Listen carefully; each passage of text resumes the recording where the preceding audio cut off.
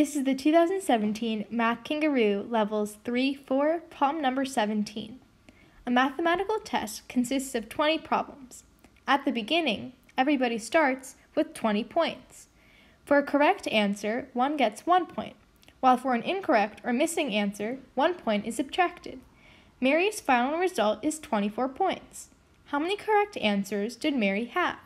A. 4, B. 8, C. 10, D. 12, or E. 16. So to start, I want to establish that I'm going to do this problem knowing that levels 3 and 4 would be doing it. So you could make a system of equations and solve it, but I'm going to pretend like I'm a third or fourth grader and don't know how to solve systems of equations yet. Okay, so we know that the number of correct answers minus the number of incorrect or missing answers must be equal to 4. This is because Mary's final result is 24 points and the test consists of 20 problems.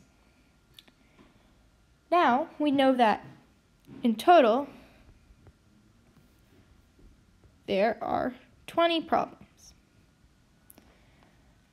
Let's draw a little number line. So let's say it goes from 0 to 20. That's how many problems there are. So in the middle, we have 10. So if we split it in half, she would have 10 correct answers and 10 incorrect answers.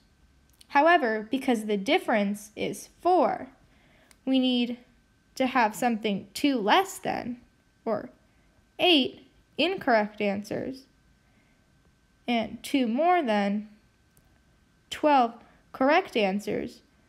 As you can see, the distance from here to here is 2, and the distance from here to here is also 2. So in total, the distance is 4. And that matches this 4 over here, which we already established. That means that she must have a total of D, 12 correct answers. Thank you so much for watching, and please subscribe and comment.